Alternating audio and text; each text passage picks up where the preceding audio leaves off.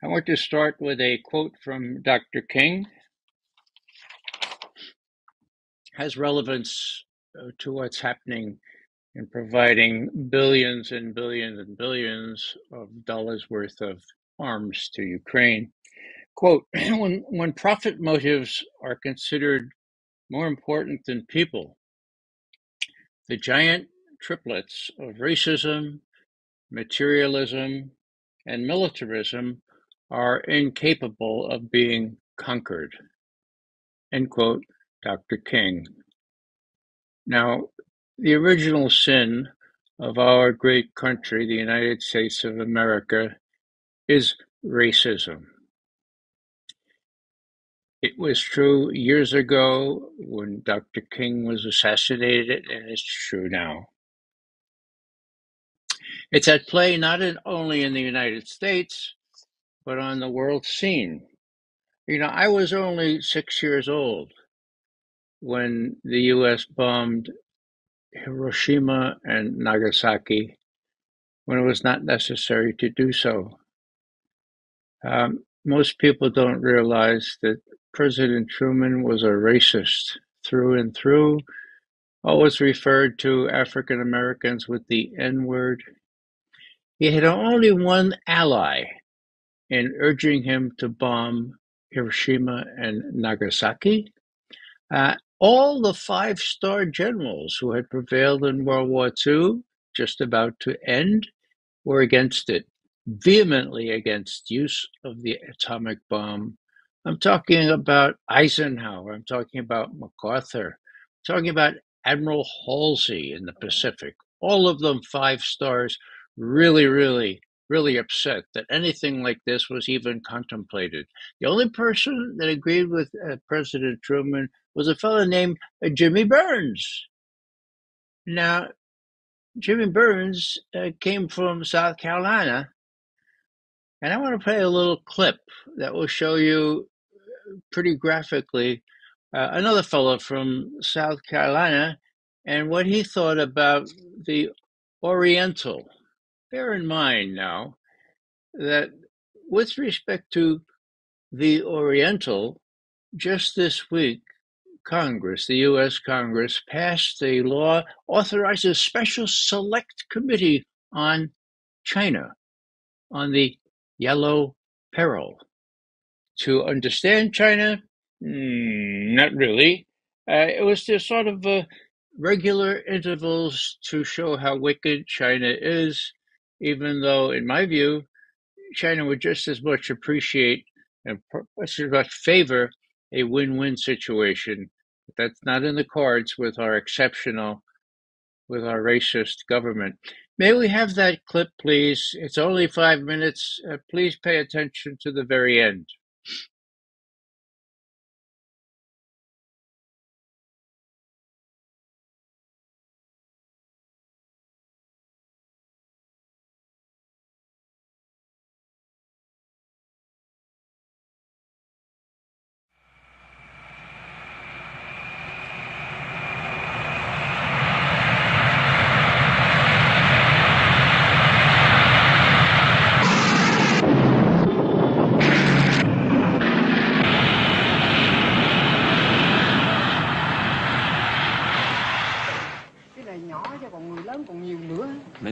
Many many coffins.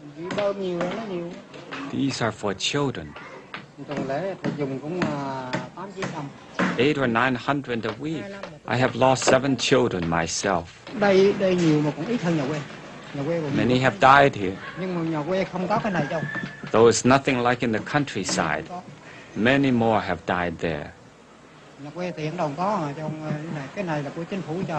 In the countryside, there are no coffins. There's no money to buy them. How did all the children die? Poison. Poison, you know.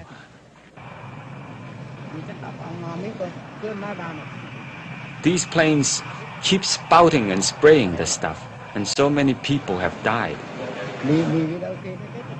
It seems to destroy their intestines. With this spraying and bombing, so many have died.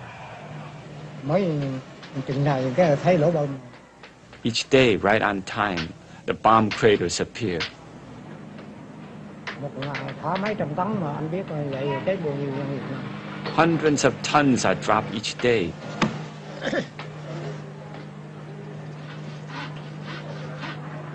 mà cái nước không được nước không được and we can't talk about it. We can't talk about it because we are afraid of the government. It can be described much like uh, a, a singer doing an aria, you know, that's totally into what he's doing, you know, totally feeling it. He knows the aria, and he's experiencing the aria, and he knows his limits, and he knows whether he's doing it and doing, doing it well. Flying an aircraft can be a great deal like that. What's a race driver feel like? One is a guy want to drive an Indianapolis 500 go charging around there. I guess perhaps the, the risk of, of dying, being killed, is part of it that makes it thrilling. I can tell when the aircraft feels just right. I can tell when it's about to stall. I can tell when I, I can't pull another fraction of a pound, or the airplane will stall, flip out, and spin on me. I would follow a little pathway on something like a TV screen in front of me that, that uh, would direct me right, left, or center. Follow the steering, keep the steering symbol uh, centered. Uh, I'd see a little attack light when we, when we uh, stepped into attack. I could pull the commit switch on my stick, and the computer took over. Uh, computer figured out the ballistics, the airspeed, uh, the slant range, and dropped the bombs when we got to the appropriate point, uh, in whichever kind of attack we'd selected, whether it be flying straight and level or tossing our bombs out. So it was very much of a, a technical expertise thing. I was a good pilot. You know, I had, uh, I had a lot of pride in my ability to fly.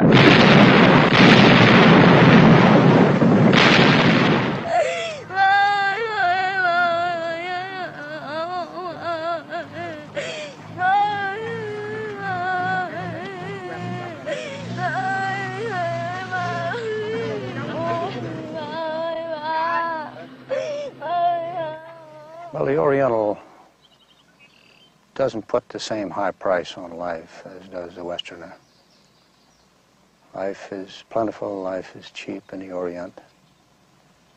And uh, as the uh, philosophy uh, of, uh, of the Orient uh, uh, expresses it, life is is not important.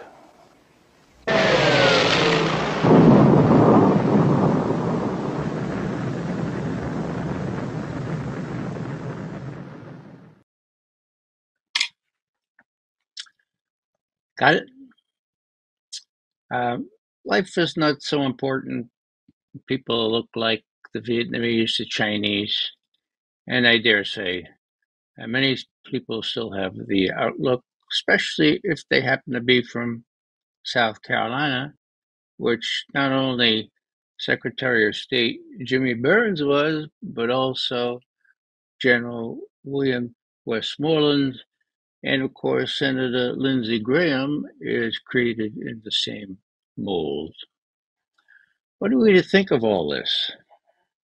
Well, during Vietnam, uh, Angela Davis, a prominent opponent of the of the war, was was arrested, and she was manacled,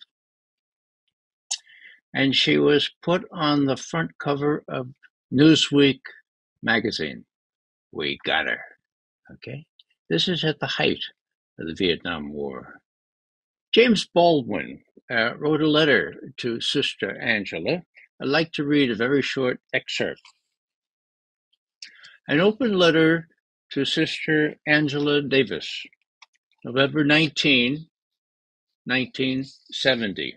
Dear Sister, one might have hoped that by this hour the very sight of chains on black flesh would be so intolerable a sight for American people and so unbearable a memory that they would spontaneously rise up and strike off the manacles. But Americans appeared to measure their safety in the chains and corpses of others.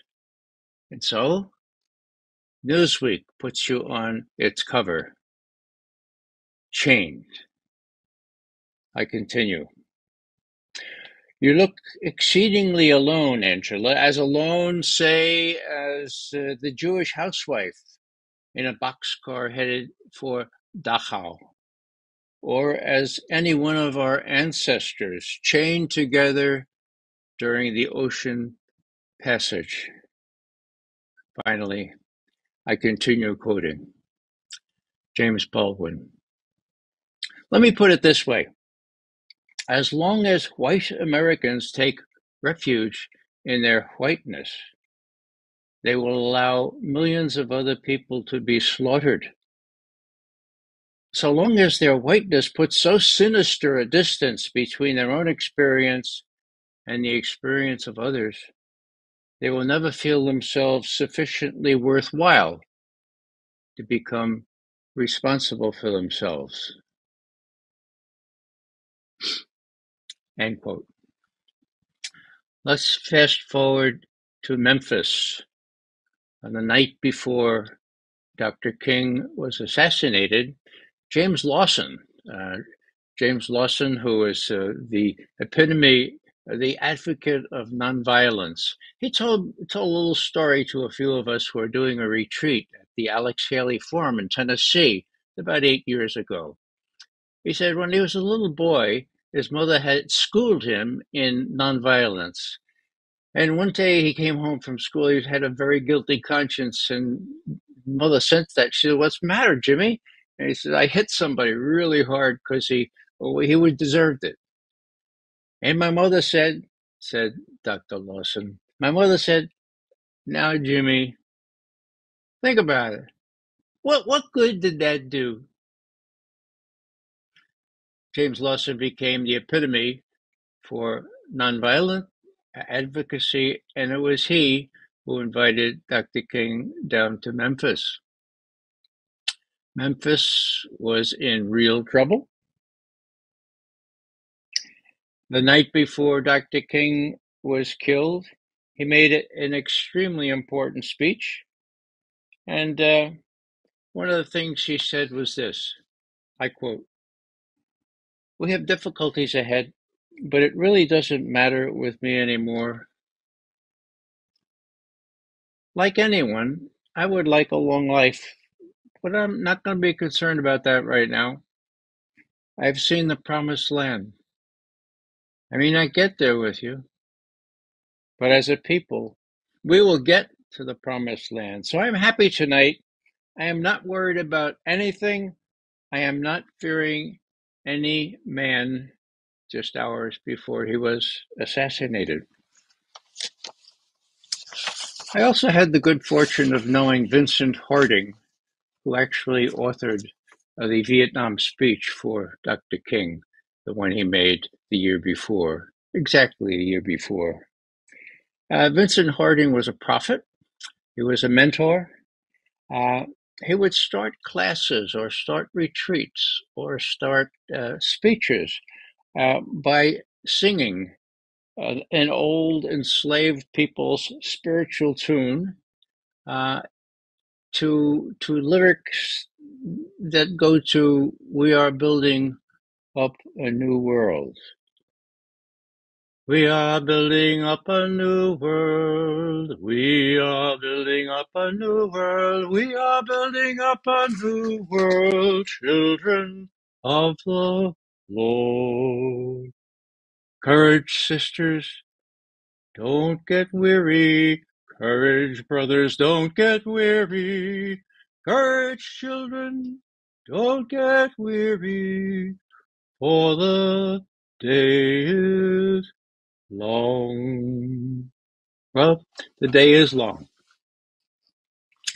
And people suffer along the way. JFK, Robert Kennedy, Dr. King, Brother Martin, before them all.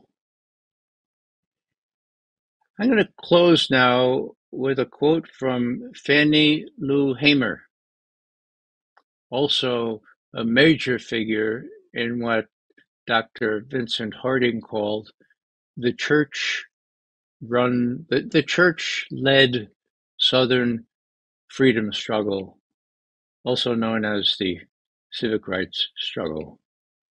Fannie Lou Hamer was a sharecropper from Mississippi. She became the the representative of the Freedom Party at the Democratic Convention in 1964. She didn't succeed, but she did. And here's what she said One day, I know this struggle will change.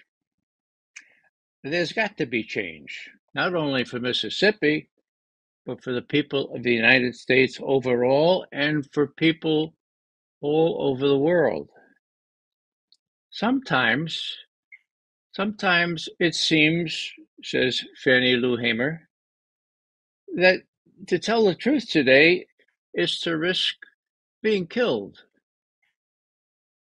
But if I fall, I'll fall five feet four inches forward in the fight for freedom. I'm not backing off. I hold that up as an example. I might see, I might not see the promised land either, but if I fall, I will fall five feet eleven inches forward in the fight for freedom. I'm not backing off. Let's none of us back off. Thank you very much.